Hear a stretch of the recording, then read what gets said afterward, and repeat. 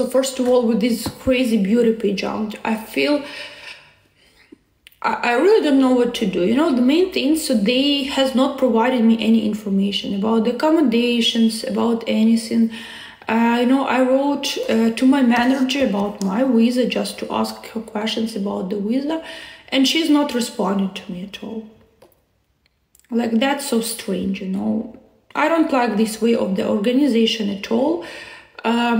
Remember, you know, I took part in some national beauty pageants here, so three months before I know accurately where I will go, who will ta- uh, who will pick me up, what type of the car, who is the driver, and all all other information. So when everything is so uncertain, um, it makes me feel like something is wrong. Something is completely wrong. Especially, guys, could you imagine? You know.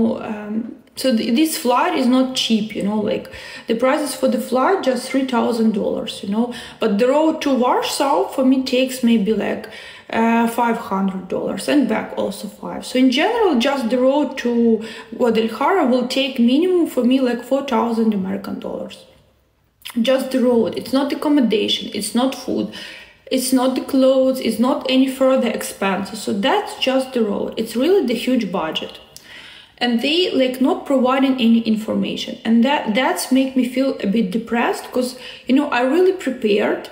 You know i bought clothes i just did the shooting uh, i prepared the speech you know and um, you know but everything is so strange you know everything is so strange you know. Usually i prefer not to um, not to talk on my live stream about my businesses so especially about some private issues but it makes me so so nervous honestly. I don't like this situation when everything is so uncertain. It's so uncertain let, let's be thank you maxwell. Thank, thank you christian.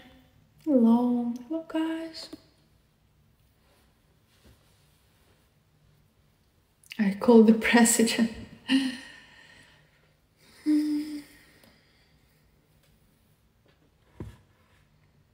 hello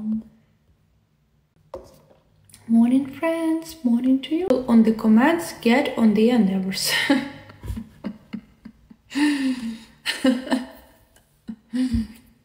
I'm sorry. I'm sorry. If they have any problems with their health, you know, they can go to the court, maybe the Royal London Court, so they can um, try to fix fix their problems. mm -hmm. um, you. Thank you, friends. So don't forget about the likes. So don't forget about the chatting.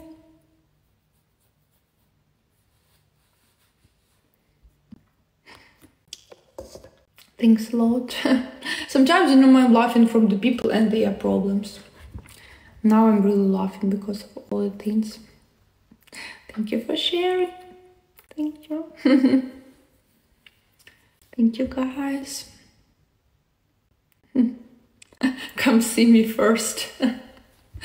I never saw any people who felt wrong with my speech. You know, it, it's so funny, you know, like, um, you know, now, you know, my decision, I'm not reading the comments at all under my video. Because what I realized, so 99.9% of the comments under the video are somehow positive.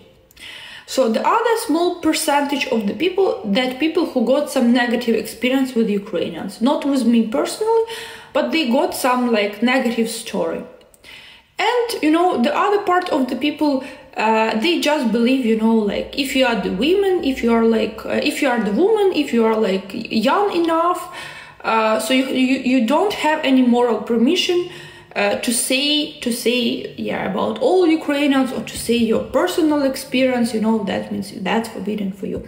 So when you will 90 or like 60 so then maybe you know I will I will give you permission to open the mouth so uh, yeah it's really funny. So that's the other type of the people. And maybe um, you know like my psychologist told me once you know there is the only one type and group of the people the critic from what people you you should at least listen to. That's the people who are better than you that the people who are expert in the same field are that you are actually.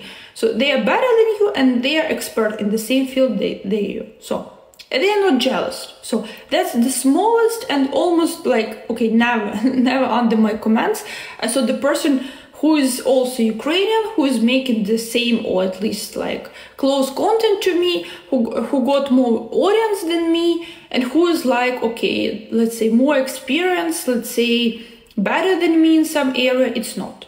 Okay, so if I will, if, if, if I will see this person, I will be happy to listen her or uh, his critic. So all other people, so they even not worth my time, sorry. Um, been dragon, yeah, so that is Chinese New Year, I think soon, or already was the Chinese New Year. Um, Thank you, you stress out. mm, I don't know Spanish, no.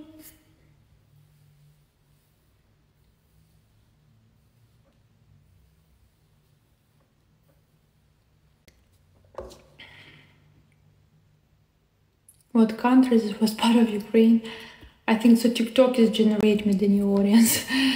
Uh, Ukraine, so nothing has changed. There was in Ukraine, so still I'm continue being in Ukraine. So everything is the same. everything is the same.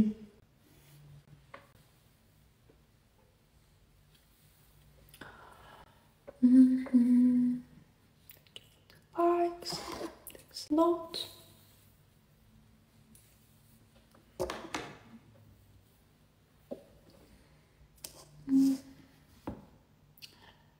The job? I'm unemployed right now, so I'm jobless.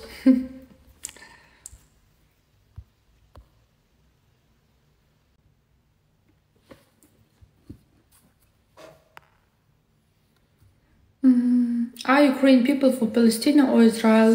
That mostly depends on some personal issues. I couldn't say that Ukraine is stay for uh, for Israel or for Palestine. So we have some some concrete beliefs. So it's the people who decide on their own for whom they are. Mm, what's your dream job? Mm, you know, I, I truly believe that the dream job is always about something you are talented in. And at the same time, so if you count in the money, and the same time, if you're not ready to make your job for free, it means uh, that is not your job.